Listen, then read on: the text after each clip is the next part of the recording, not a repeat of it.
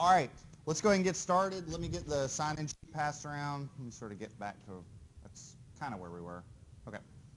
All right, um, let me see. Okay, so I'm going to get the sign-in sheet passed around. Um, so I just gave you all back homework two that's been graded. You all did uh, pretty well. I don't really think there's any major comments that need to be made other than uh, we still had a couple uh, things with format. You know, make sure you're using quad paper. Uh, make sure that the original assignments, the cover sheet, uh, and whatnot. And there were still a couple folks that are using the international edition, which it's fine to have that, but there are differences in the problems. So make sure that you are that you are responsible. Uh, well, you are responsible, so make sure that all of your um, problems match. So one, two, three, four, five, six.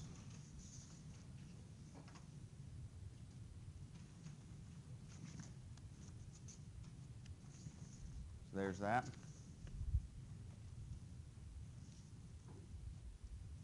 And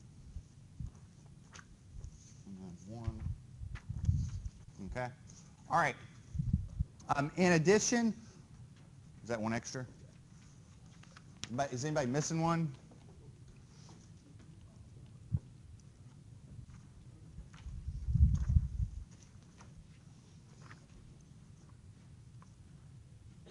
All right, then that's where that went. Okay, um, in addition, if you recall last time, I assigned homework three, but I forgot to bring hard copies, so I brought hard copies today. Um, keep in mind, this is due on Thursday, and there are no, I'm not going to accept any late submissions because I'm giving you a solution on the same day. So that way you have at least something to go off of for the exam coming up uh, on Tuesday. Sound fair?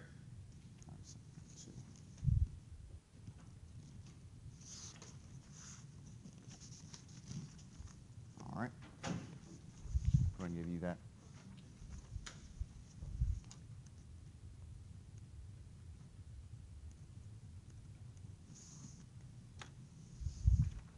There's that.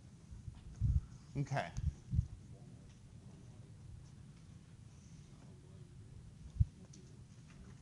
Okay.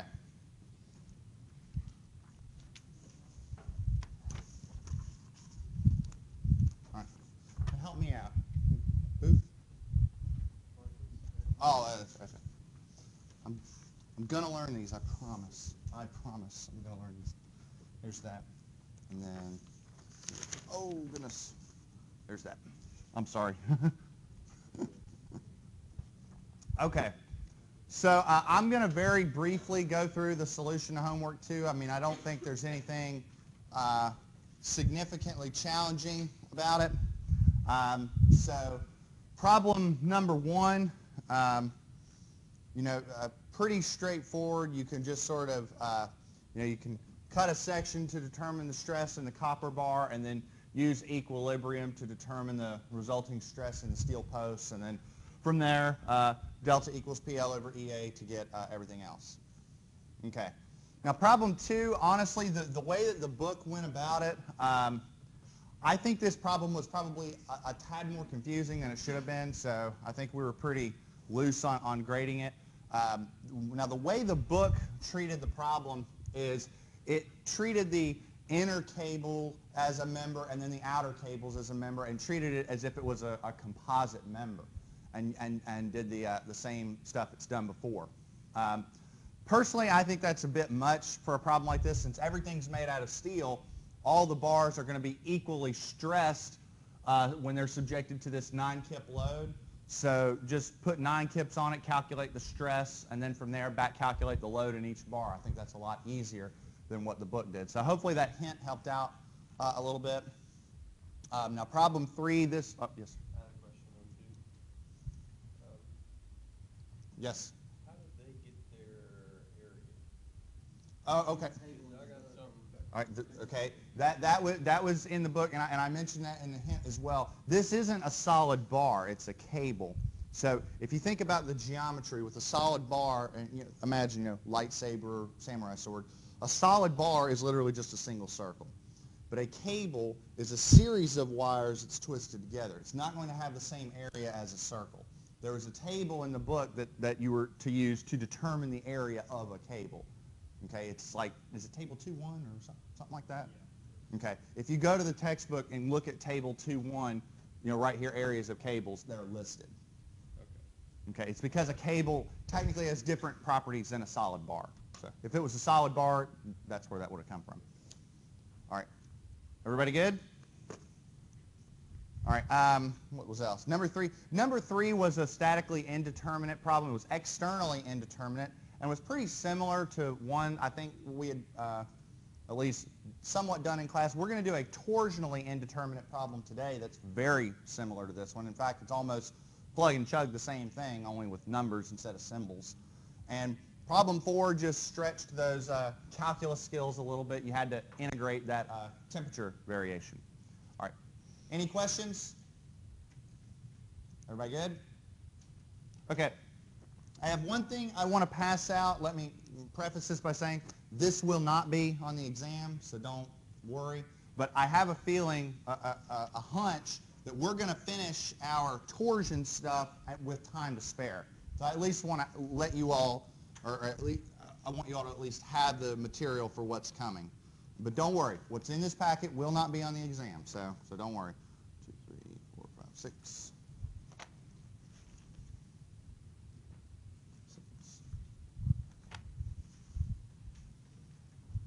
Okay. Actually, I think you all might need one more. I think I miscounted that. Did I miscount that? Oh, I'm sorry. I stepped on your foot there. All right. So today, what you all should have, so that everybody's clear on what I handed out, I handed out your homework two back to you with a solution. I handed you out a hard copy of homework three, and then a, a, a lecture sheet on geometric properties, right? Everybody good?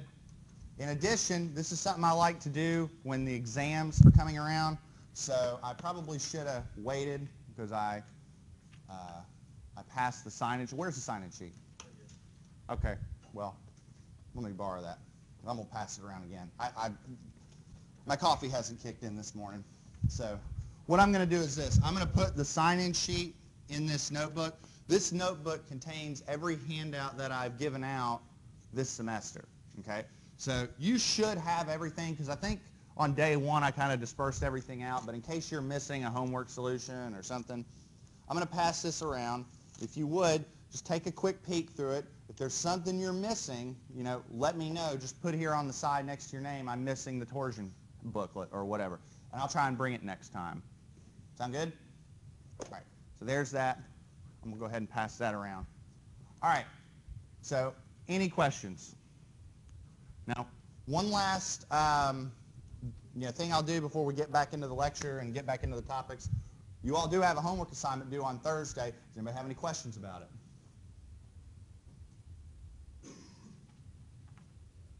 Y'all remember you have a homework assignment due on Thursday, right? Oh, okay. You gave, you gave me this deer in the headlights look there. yes, sir. For the third problem, we don't have to do anything. We just have to ignore part C. No, no, no, no. no, Uh, funny, funny, Uh, funny guy. No, just on problem three, do parts A and B. No C. Part C isn't anything of. In all seriousness, part C isn't really anything that's complex, but you're going to spend 10. You're, you're going to spend 10 or 15 minutes thinking about it, and it takes 10 or 15 seconds to calculate. It's it's it's no big deal. You're just taking the load over the angle of twist to get a stiffness calculation. It- It's not really critical for, for that type of problem, so I'm, I'm just not worried about it. All right. Funny guy. All right. Any questions at all on the homework? Okay. Again, remember, it's due on Thursday. Uh, when we come in, you turn in the homework. I'm giving you a solution. We'll go through the exam, and then it's question time. So on Thursday, be prepared to come in and ask whatever you want, okay? Ask whatever questions you want. Now, you can ask what's on problem one. I won't answer it, but um, that was a joke, not a very funny one. It must be too early. No, you can. I'll answer what I can, but um, I won't. Uh, I won't just tell you what's on the exam. But I'll do my best to try and review stuff. Okay.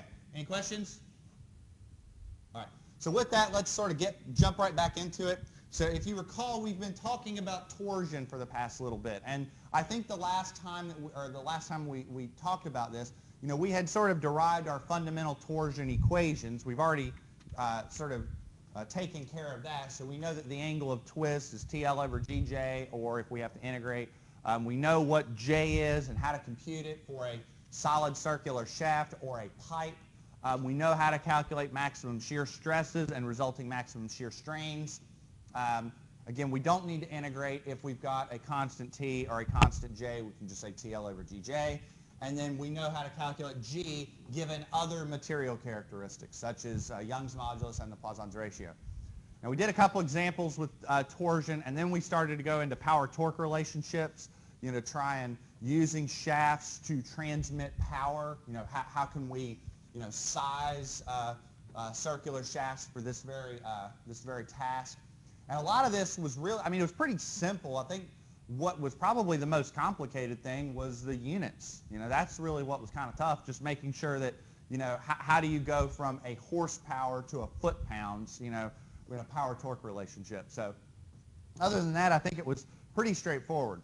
Now we did this example looking at uh, essentially a design problem, sizing the shaft for a particular uh, power transmittal. We're looking at 30 horsepower and we looked at the allowable stress in the steel and we used that to size the shaft. Okay, and that's sort of where we left off. So any questions?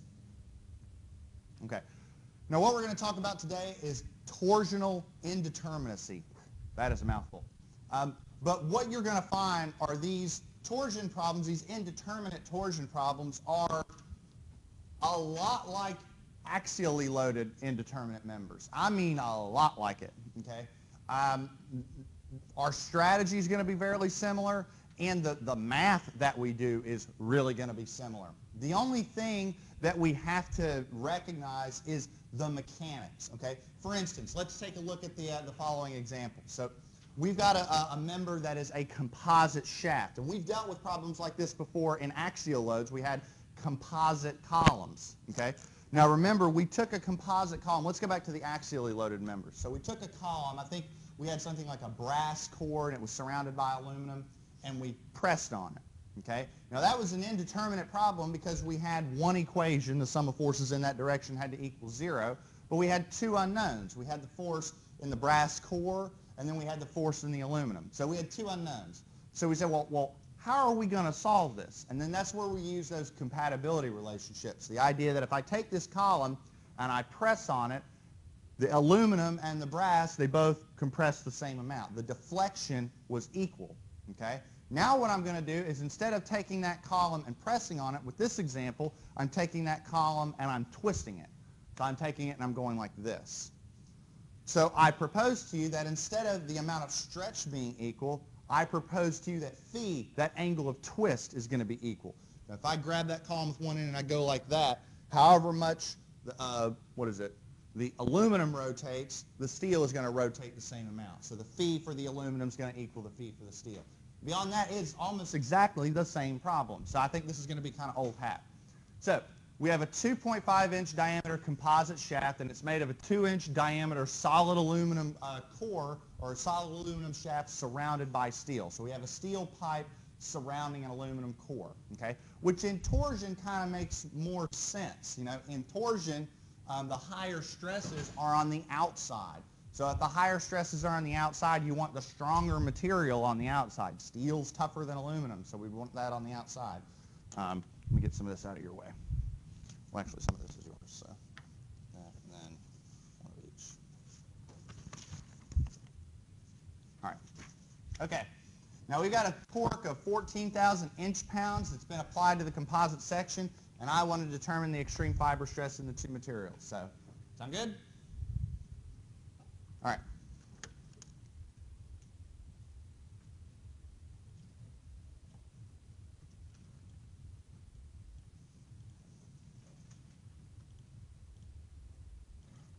All right, so we got example, was this 14?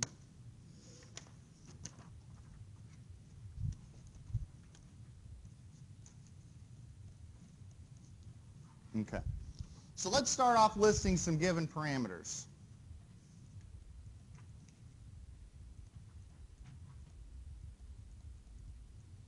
Okay. Now let's also recognize that we've got I mean, how do we calculate the angle of twist if you've got a solid, you know, a solid shaft where we have a constant T and a constant J? It's T L over G J, right?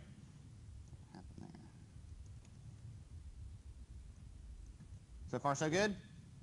All right, so let's see what we know, okay? Do we know the torque? Yeah, it's what, 14,000 inch pounds, or the applied torsion. All right. Now, what's interesting, do we know the length?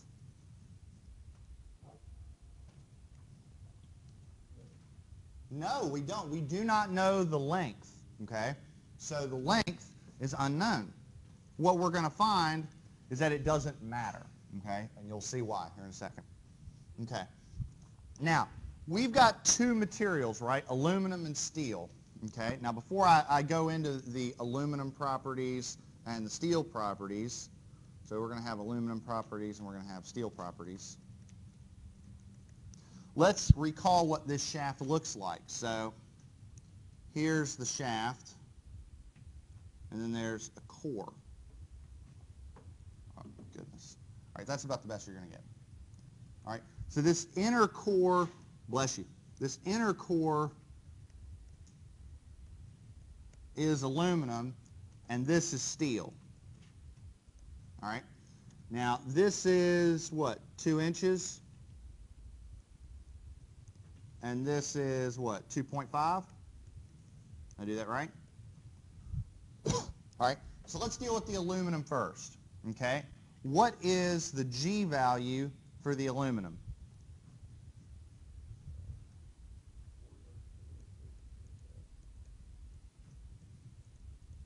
And everything seems to be in pounds and inches, so let's just leave that in PSI.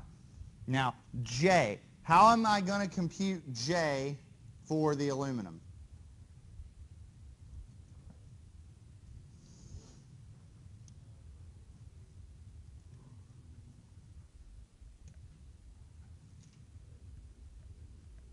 Nope. Pi over, you're close. Pi over 32 times d to the fourth. Okay, so that's pi over 32, bless you, times 2 inches raised to the fourth, and that comes out to be what? Whew. I, okay, pi over 2, so that comes out to be 1.571. Right. Now, for the steel, G is, what is that, 12 times 10 to the 6 psi? All right. Okay. All right. So J is, how do we calculate J?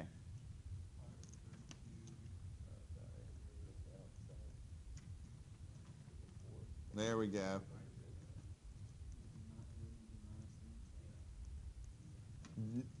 The outside of the fourth minus the inside, right? So pi over 32 was that uh, 2.5 to the fourth minus 2 to the fourth. Bless you. All right, so that comes out to be what?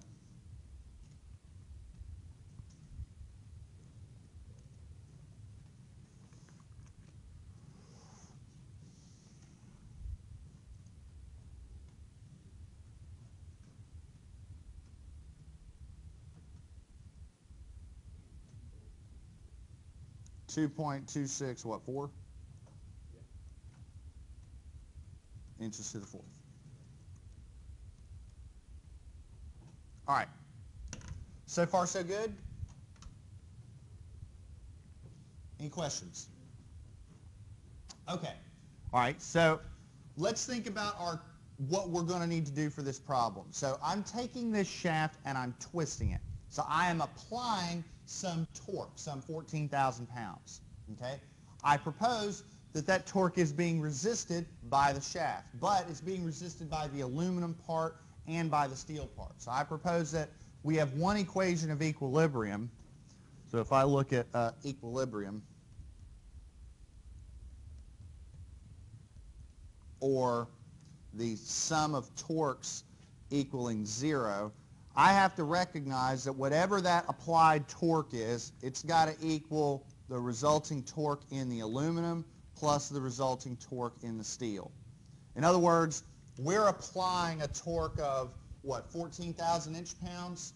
Some of that's going to go to the aluminum, some of that's going to go to the steel. I don't know how much, but I know that whatever those two add up, it's add up to be, it's got to be 14,000. All right? Make sense?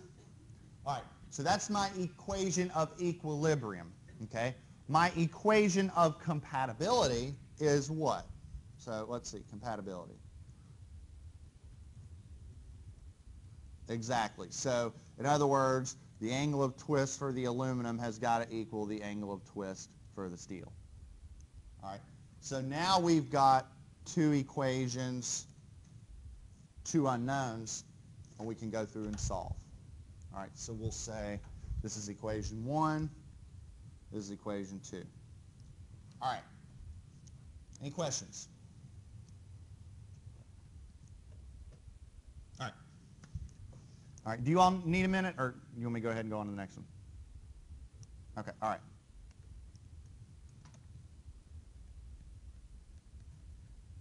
Okay. Let's take that second equation and let's expand it a little bit. So expanding two. So that's what? Phi of the aluminum is phi of the steel. So far, so good?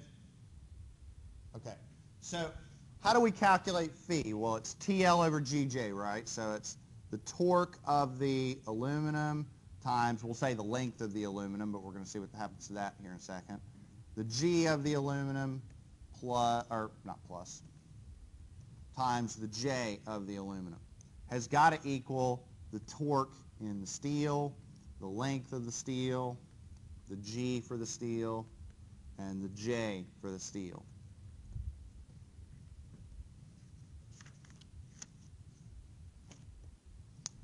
So far, so good?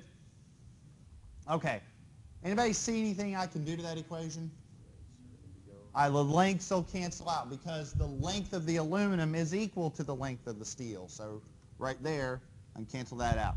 So remember, we weren't given a length for this shaft. Does it matter? No. Okay? So what I propose then is that T aluminum divided by, and I'm going to write this a little short. I'm going to say GJ for the aluminum has got to equal the torque for the steel divided by the GJ for the steel. Right, so far, so good? Now, let's go back to equation one. All right?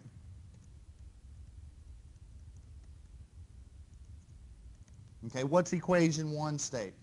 That whatever that torque is, it's got to be equal to the torque of the aluminum plus the torque of the steel, right? The torque in the aluminum plus the torque in the steel.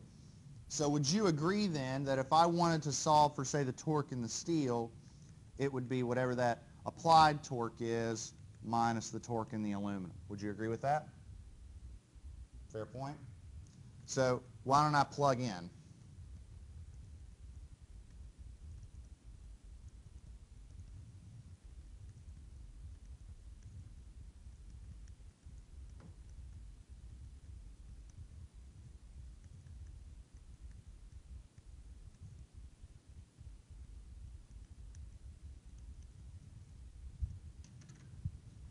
What do you think? Now look at that equation. What's the one value we don't know? TAL, the, the torque in the aluminum, because we know the GJ for each material, and we know the applied torque. It's 14,000 inch-pounds. So all we got to do is solve for TAL. So now this becomes a little bit of alphabet soup. So what do I do? I can take this uh, this denominator, flip and multiply. You know, put that over there. So what do I got? I've got torque of the aluminum times, actually. I'm going to do this. What do I got? I got GJ for the steel, and then GJ for the aluminum is torque minus torque of the aluminum. All right. And then if I sort of carry that up there, what do I have? I can add the aluminum over to the left side. So I can say torque of the aluminum. What's that? G, J, steel, G, J, aluminum plus torque in the aluminum is the torque. So here, I just took that, multiplied it up, and then added the aluminum over on the other side. I'm going to factor out the torque in the aluminum. So it's GJ for the steel divided by GJ in the aluminum plus 1, right, equals the torque. So if I want to determine this torque in the aluminum, just take torque and divide it by all that, right? That big chunk inside there. Sound good? All right, you want me hold this up here for a second? Okay, not sure, no problem.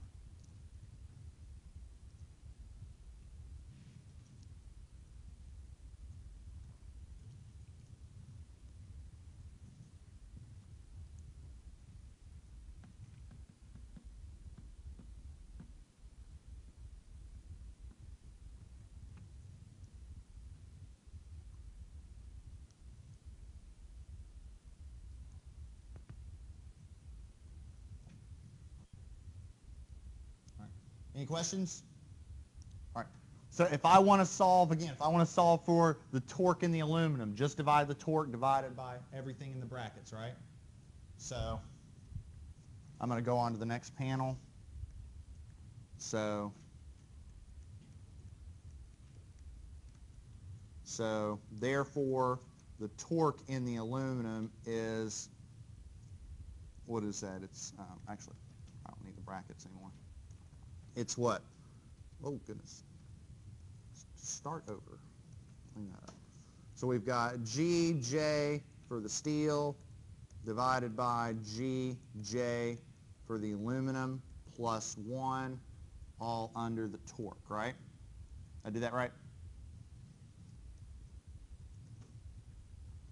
So let's see if we can figure that out.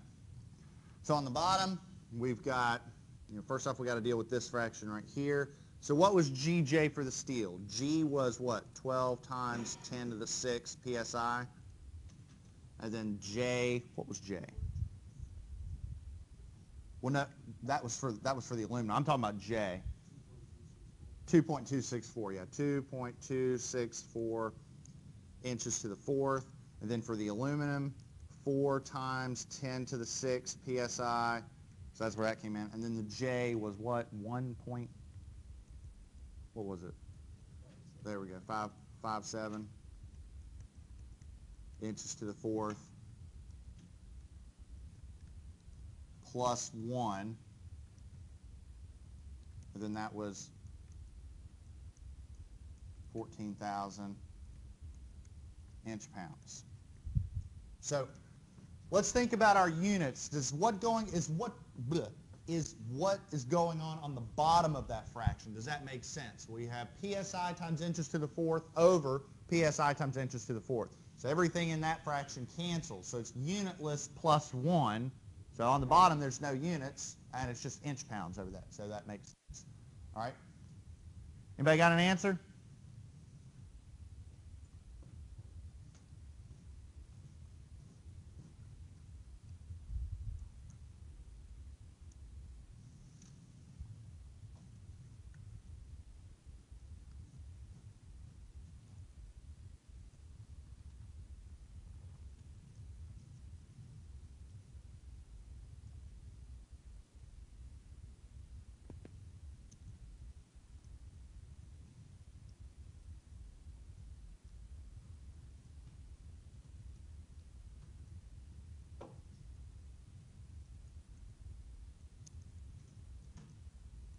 Okay,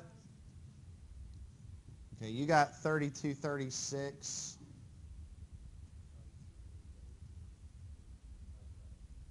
Okay, okay. We, you said 46, 30? 2630, and you got 2630. Yeah, I, I have 2630. Do this. Do do just everything on the bottom first, and then just take like 14,000 divided by the answer, because that can it, doing it all at once. I know you can have parentheses all over the place. Oh wow, well, that'll do it. That'll do it. What's that? I got uh, 2629. Okay, all right. I think we got enough seconds on that one. So 26, 29.5.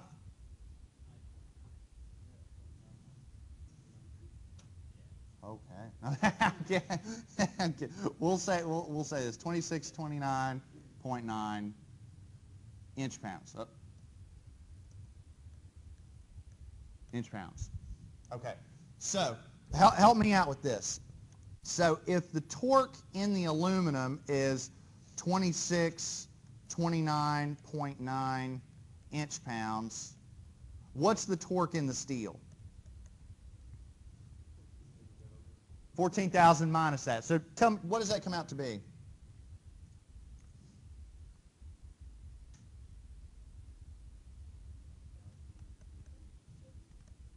Three hundred and seven, seven zero. Point one. Okay. All right. Sound good? All right. I'll tell you an interesting fact about um, mechanics. Um, and this is, th- this is something I haven't really shared with you before, but this is a really good point to, to share it. When you're dealing with an indeterminate problem like this, and, and you know, make sure we're all clear, this is indeterminate, right? Remember, there were too many unknowns than there were equations of equilibrium. When you're dealing with problems like that, now this, this comes out. When you're dealing with problems like that, stiffness acts a whole lot like a magnet. Okay?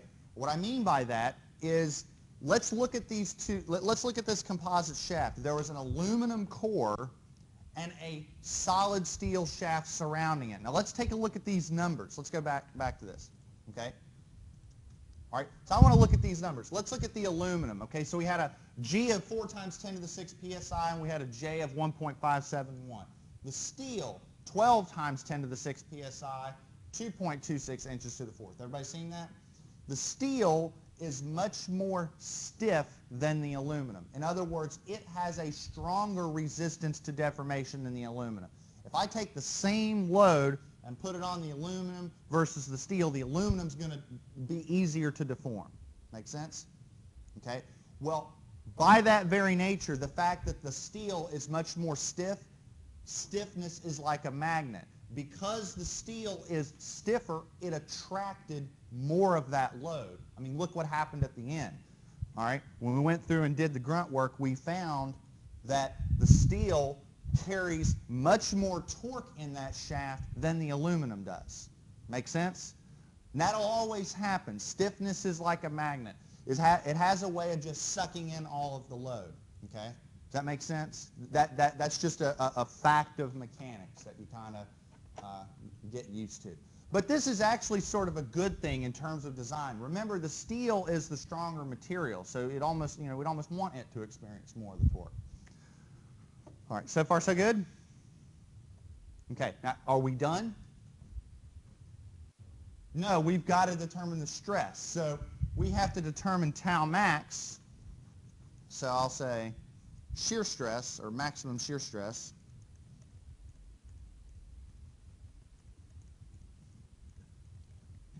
In other words,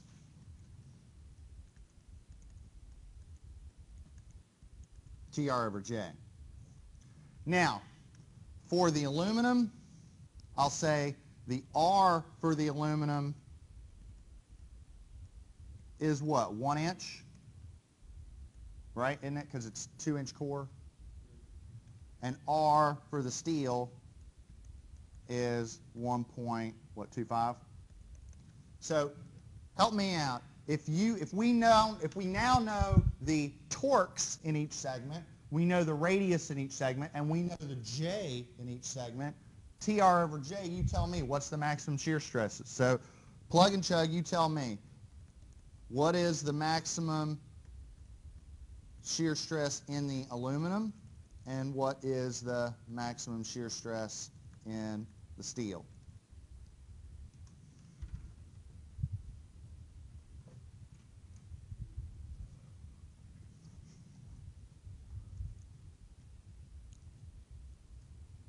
We can just do it to the nearest PSI. Just keep it simple.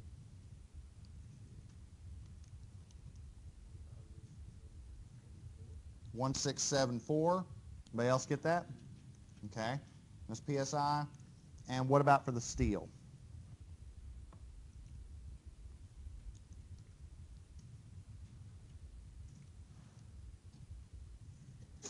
Bless you.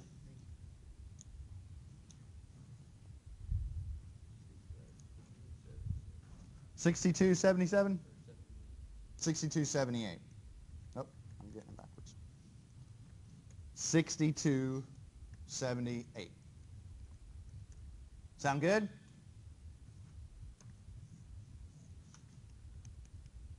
All right, there we go. Any questions? Right. And that, that concept that stiffness is a magnet, it applies across the board. I mean, it applies in mechanical engineering. It also applies in civil engineering. For instance, if you've got a bridge uh, and, and the bridge is a continuous span, you know, you've got the bridge and then there's piers in the middle. You all have seen that on the interstate probably all the time.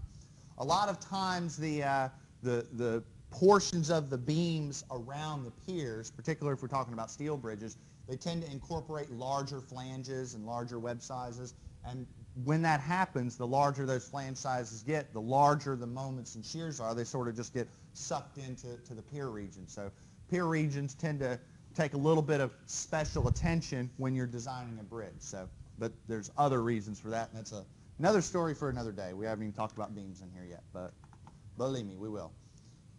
All right. Any questions? Okay.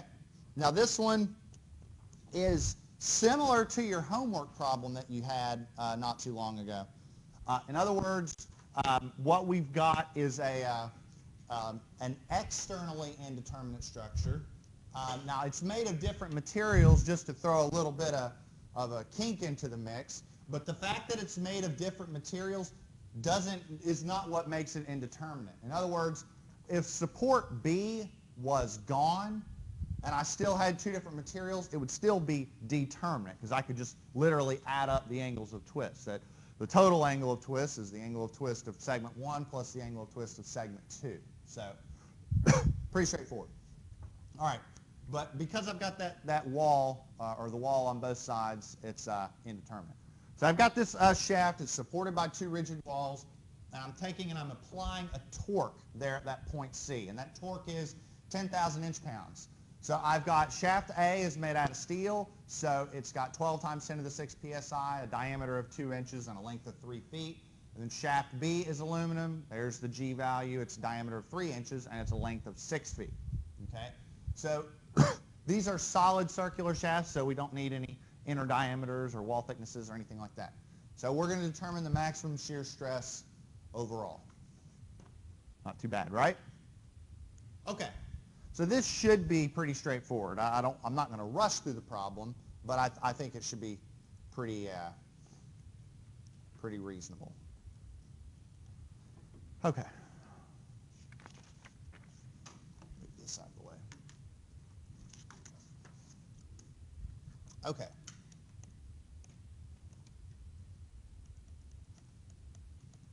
All right. Excuse me. Example 15. So let's take each shaft one at a time and let's, um, let's write down some information. So let's say parameters. All right. So let's start off with shaft AC. Okay. So what's the G value for shaft AC? There we go. Making sure y'all are awake. Now, what is the diameter? Two inches. So if I have the diameter, what can I go ahead and compute?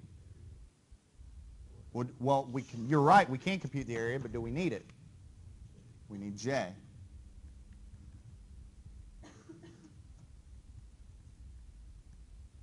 So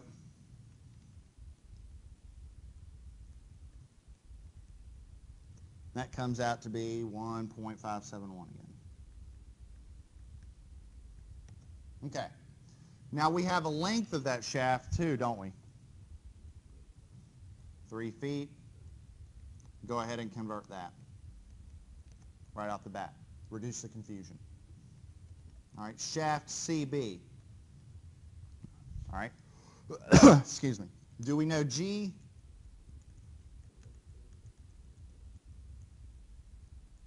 Right? We have a diameter of what, three inches? So we can go ahead and compute J.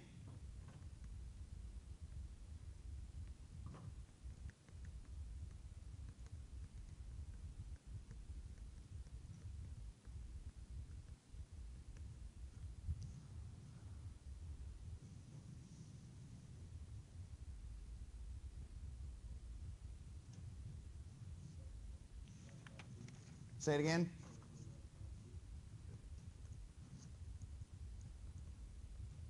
We have a length, right? Six feet, right?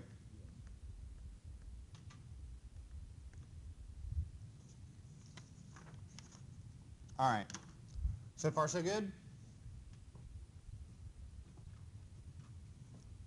All right. Any questions?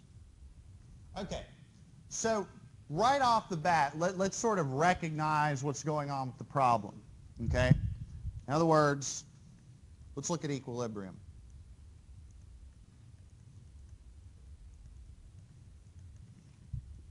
Excuse me.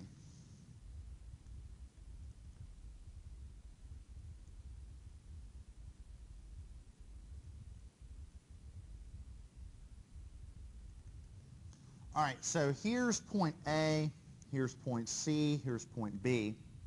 And I'm taking this and I'm applying some torque, right? Some torque T naught, okay? And if I take that point and I twist it, right? I take that point and I yank on it or, or twist it like so. I'm going to get some torque developing over here and some torque developing over here, right? So we'll say excuse me, some torque A, some torque B, right? Would you agree then that if I say that the sum of torques has to be equal to zero, that whatever that applied torque has to be, or whatever it is, it's got to equal TA plus TB? So far, so good? Now, unlike last, uh, now, now, or just like last time, I should say, um, you know, I've got, what, 10,000 inch-pounds? I know that some of it goes here and some of it goes here. I just don't know how much. But unlike last time, I'm not dealing with a composite shaft. I'm dealing with an externally indeterminate structure. So our strategy for an externally indeterminate structure is to assume one of these supports is free. So in other words, let's assume support B is gone. So knock that out of the way. So imagine that doesn't exist. If I take this point and go like that, or, or you know, go like that, if I do that, this point B is going to rotate, right? Make sense? What I then need to figure out is what torque will then cause it to rotate in the opposite direction, and that's TB. Make sense? Okay. So um, let me go ahead and go on to the next panels. Everybody got this? All right. So we'll say case one. Assume is free.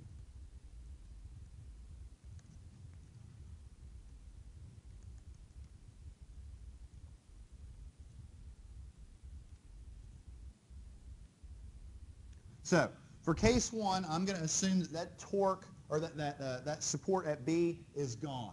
And I'm going to take this torque and I'm going to apply that right there. So that's T naught. Okay? So far so good? So I propose that I'm going to get some rotation here and the idea is to figure out phi at B is what? Let's see if we can figure that out. Okay. Now first off, would you agree then that if I apply a torque, I'm going to get a resisting torque right here? Right? And for this case, equilibrium tells me that that's got to be equal and opposite. So far, so good? All right. Okay, so what I'm going to do is I'm going to find the angle of twist, in, um, you know, at the very end. In order to do that, I need the torques inside each segment. If you want kind of a, an analogy, what we just did are the support reactions. Now we've got to find the forces inside each member. It's kind of like a truss. You know, you find the uh, reactions and then you find the forces in each member. We're going to kind of do the same thing. Now the way I'm going to do that is I'm going to cut sections. So I'm going to cut, you know, section one right through here. We'll say cut section two right through here. Now, you all know how this goes. You can cut a section, look to the left, cut a section, look to the right. It doesn't matter. You're going to get the same answer. So let's be systematic. Let's just cut sections and look to the left. So for section one, I've got, what do I have? I've got a segment like this. I've got a reaction. This is torque, you know, T sub naught. I've got this shaft. And then that's where I cut the shape. Okay, I propose that inside that shaft we have to develop some torque. I'll call this T, what is that, AC? Torque inside AC. So if I sum, uh, if I sum torques, I recognize that TAC has got to equal T naught in that direction. Fair point? Okay. If I look at section 2.2, what do I have?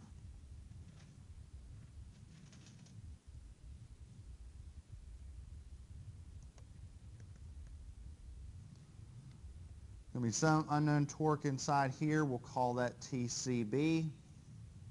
I've got, I've got that, and then I've got that. This is T naught. This is T naught. So if I sum torques, what is T uh, CB going to equal? You tell me. Zero, exactly. All right. So far, so good? Now, why does this matter? Okay. That angle of rotation at B, or maybe I should write it, maybe I should be more standard and say the angle of rotation from A to B. I propose that that equals the angle of rotation from A to C plus the angle of rotation from C to B. So that's going to be TL over GJ for the first segment plus TL over GJ for the second segment. So T, AC, L, AC, G, AC, J, AC plus T, CB, L, oh,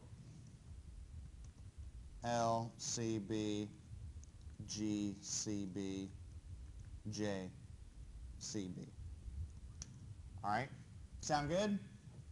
What can I do with one of these terms, one of these fractions? One of them zero. This one over here on the right is zero because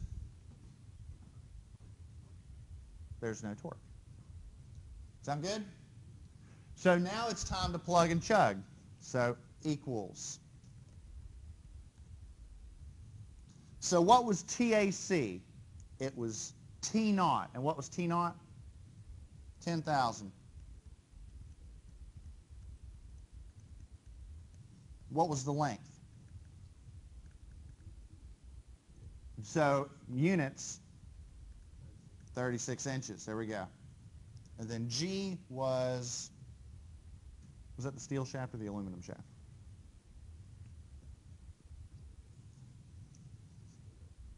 All right, so what was the G for? 12?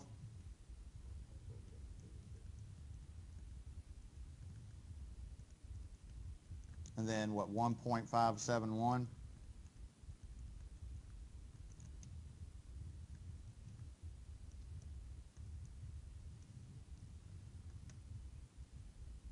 Sound good? So that angle of rotation came out to be what? First off, what's the units if we just calculate that directly? Radians. So whatever we get's in radians. And let's leave it in radians because ultimately we're going to back calculate uh, where we're going to take this value and plug it back in.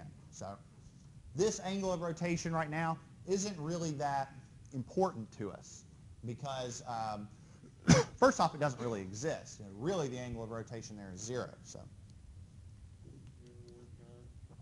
0.019 what? No, no, no, no. Give me, give me one more. 191 Yeah. radians. All right. Everybody okay on that? Okay. So let me be clear. This is case one only. In other words, remember case one, we assumed that support B was free. Okay? Now another thing maybe what I also should do is indicate that that's rotation that way.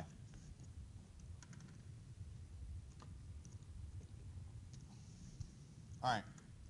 Sound good? Any questions? Okay. So now what I have to do, I'm going to go and go on to the next panel if everybody good. All right. Now what I'm going to do is I'm going to um, look at case two. Okay. And case two is, um, how do I want to describe this verbally? So uh, applied torque at B that causes an angle of rotation of 0.0191 radians. In other words, what I've got is a situation that looks like this.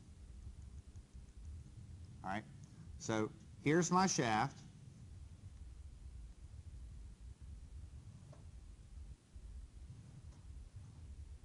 Okay? I'm now going to apply some torque here going this way. Okay? All right? Now, I don't know the magnitude. All I know is that it causes an angle of rotation of 0.0191 radians. What I'm going to try and do is figure out what that torque is. Okay? Now, let's use a little bit of equilibrium. Okay? Now, or one thing. One thing, I'm not including this as well. This is just the shaft by itself because the idea is I want to take these results and superimpose them onto the other one. So I've already accounted for that torque here once. I don't need to account for it again. I've only got that torque B uh, at the right end. So first off, sum of torques tells me that that reaction here is the same thing in the equal and opposite direction. Is everybody okay with that? Far, so good? Okay. Just like before, two sections. So, section 1, 1.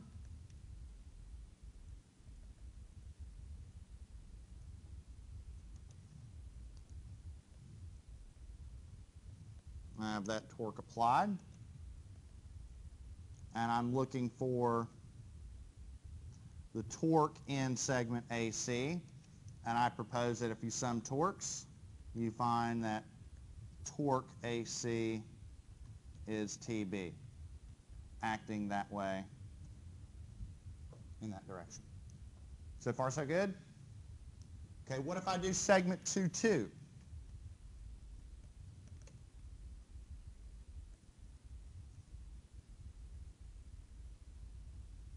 Went to be an engineering major, didn't think you'd be doing this much drawing, right? If I wanted to be an architect, I could be an architect.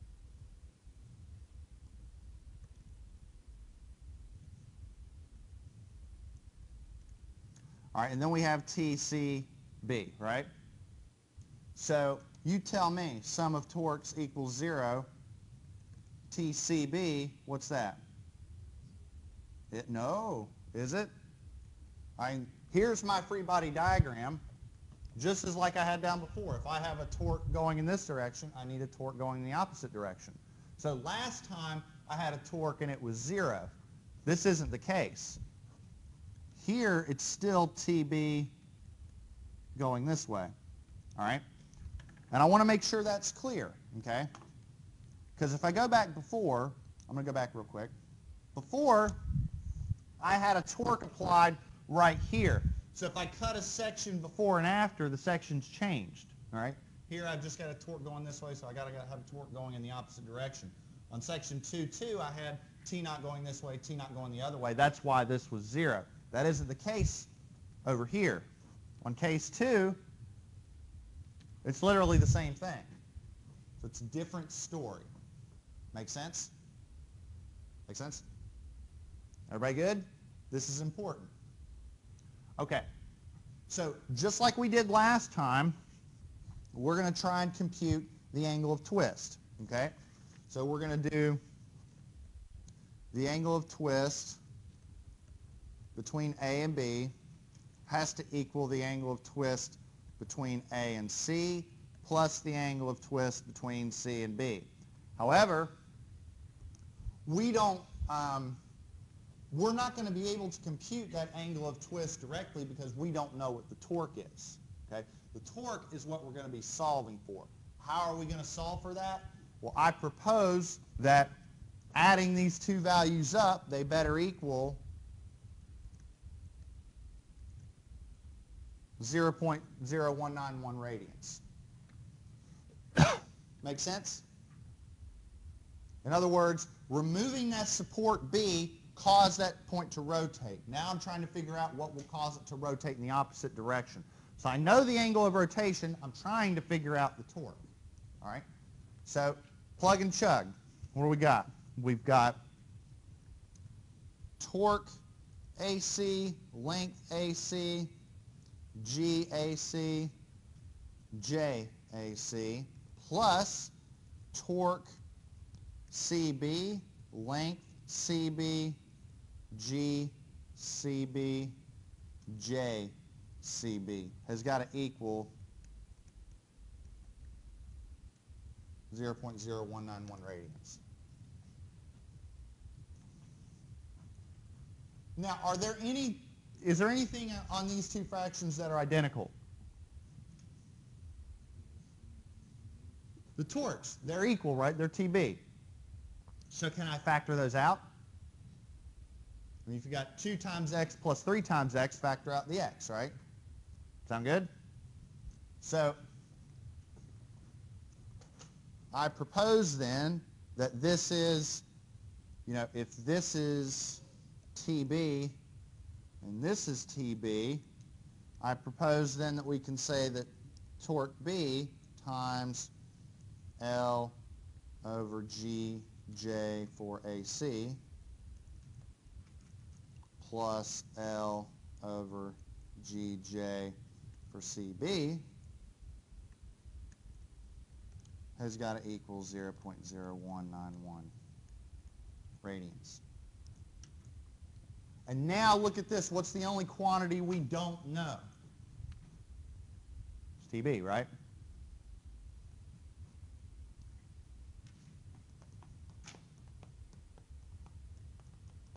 Any questions?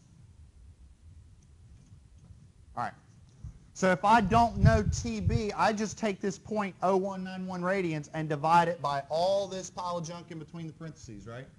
So 0.0191 divided by all that will give me my torque. So can I go on and go on to the next panel? or?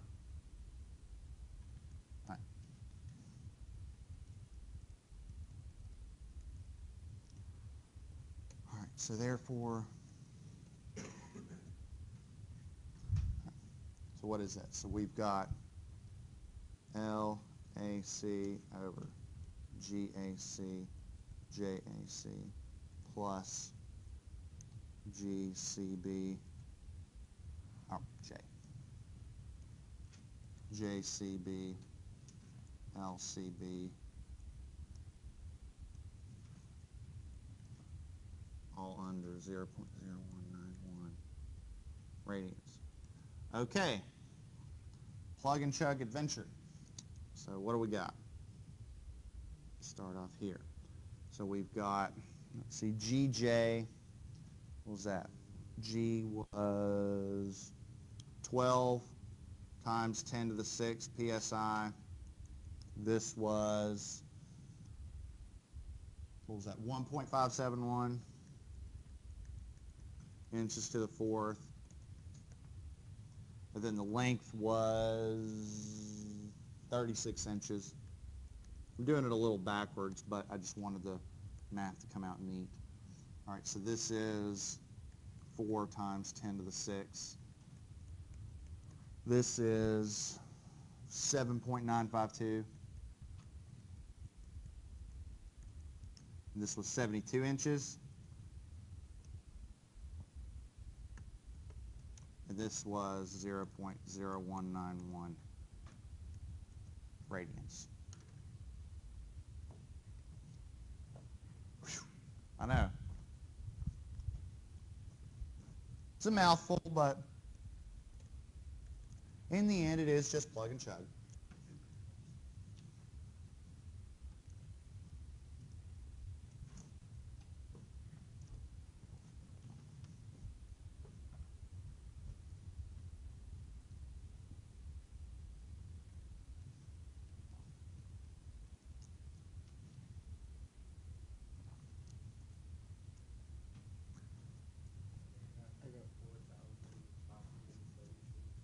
Forty-five seventy-six?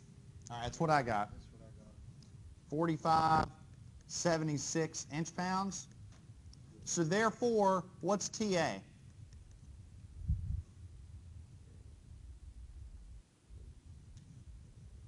Now you're on, you're on it. So what is that? Uh, fifty-four twenty-four?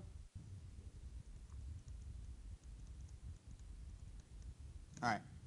So segment A was just a little bit stiffer than segment B, so it accepted a little bit more load. All right.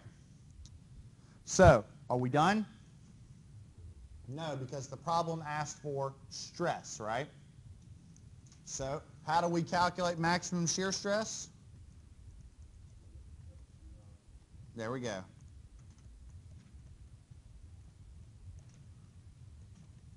Tau max is TR over J, exactly right. So R for segment A, C is, is something, R for segment B, uh, CB. So for segment AC, the R was what? Well, if the diameter was 2 inches, that made that 1 inch. And that makes this what? What was it, 1.5? So, yes. TA, oh, this is, um, okay, to find TA, remember that tau A plus tau B had to equal 10,000 inch pounds. It was, in, yeah, inch pounds. So I just knew, remember, we didn't know what tau, or TA or TB at the beginning was, but we knew that whatever they were, they had to add up to be the 10,000. So that's a good question. Yes, sir. So in this previous part where we found the angle of twist, the point zero one nine one was accounting for T zeros. Yes. So you don't use it again. Exactly. If we put it there in, in, in case two, we would be double dipping. Does that make sense? All right. Sound good? Okay. So here's my R for each segment. I know the T for each segment. And then we've, oh, we've got the J for each segment. J for AC was 1.571 and J for CB was 7.952. So somebody help me out. What was tau max? What what will tau max then be for segment AC, and what will tau max for segment CB then equal?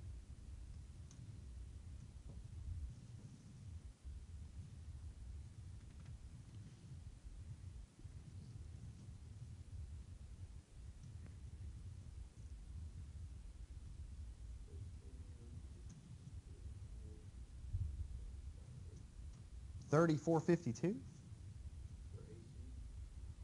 I got something different. What'd you get?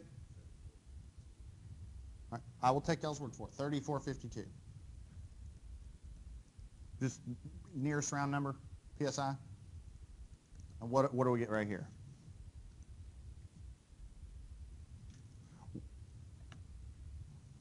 Wait, wait, wait, wait, wait, wait, wait, wait. Ah, ah, now I know why. Now I know why. Hold on, hold on. I'm getting ahead of myself. Can I go ahead and erase this down here? All right. Which torque did you use? The upper one, the 4576? You did. Uh, you used the 5424 for AC. Okay. All right. All right. Well then, then okay. Then I will take your word for it. All right. So what what'd you get? 3452 psi. And what for the next one?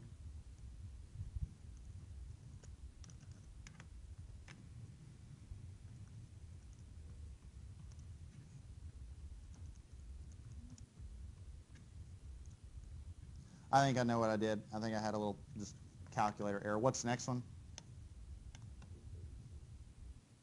Eight, 863? Okay. I think I know what I did. All right. So ultimately, the actual maximum one, here's the maximum one. But any, either way, those are the answers. Sorry about that. Okay.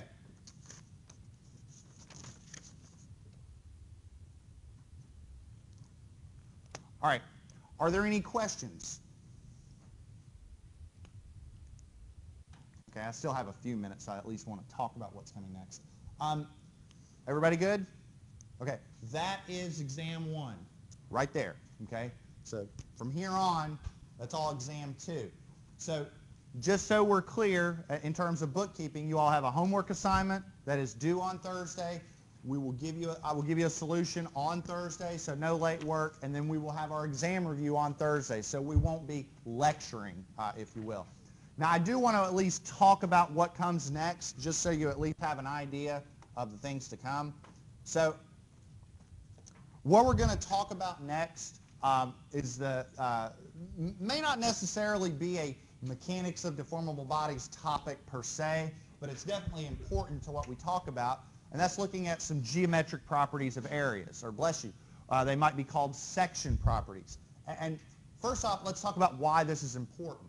Okay, so I've got here what I like to call the big four stress formulas. These are the most fundamental stress formulas that we will use in this course. Okay, so you've already seen two of them. The fundamental formula for axial stress, P over A, and then torsional stress, TR over J. Both of those formulas are a function of section properties. For instance, P over A, the area, okay? TR over J, the torsional, uh, torsional modules, the St. Venant's, uh, uh, St. Venant's uh, modules. All right, we have sigma, uh, sigma bending, which is coming later, the bending stress formula, my over I, one of the most fundamental formulas in engineering, okay? And it is a function of I, the moment of inertia, okay? This value Q for the shear formula is the first moment of area. These are all properties of an area. Take a, uh, a lightsaber or samurai sword, depending upon your preferences, cut through a member, you will see a shape. There are properties of that shape that are critical for design. We need the area for axial stress. We need the J for torsional stress. We already know that. So what we're going to do is take a little bit of time and go through properties of areas. So some of this stuff you've already seen, I think, in some classes, like to calculate the area under the curve. Uh, you know, what we're doing is just summing up these differential elements, and you all know how to compute stuff like this. Um, the first thing we're going to review are centroids or centers of gravity, and you all probably seen stuff like this before. Did y'all do this in statics? Maybe near the end, and you know, sort of really quickly brush through it. We're going to take a little bit of time and do it here, and then we're going to discuss uh, things like the moment of inertia. The moment of inertia is, is fairly important because it's a representation numerically of bending stiffness. To give you kind of an idea, if you've got some floor system, why are the joists oriented like this as opposed to like this? It's because a board is stiffer in this direction than it is in that direction. Why? Because it has a higher moment of inertia in that direction than it does in the other. There's a reason why we do all of this, and that's what we're going to kind of try and illustrate. So we're going to spend some time talking about properties of areas before we get into bending. Bending is a, it will take a while to get through, so it's all exam two. I just wanted to give you a taste of things to come. We're not going to talk about this for a while, so I thought it was pertinent to at least show you what's going on, because we're actually not going to get into this until next Thursday, you know, because Thursday we have our review session, Tuesday we have our celebration of learning, and then we have, you know, we don't have exams in here, we have celebrations of learning. And then the next Thursday, we get back to materials. So it's going to be a while before we talk about this. I thought it was pertinent to at least mention it. All right? Any questions? Okay. Thursday, homework's due. Be prepared to ask questions. I'll have a little review packet to give you, and we'll go through it. All right? Everybody good? That's all I got. I will see you all next time. Hold on. Let me pause this real quick, or I'm going to forget.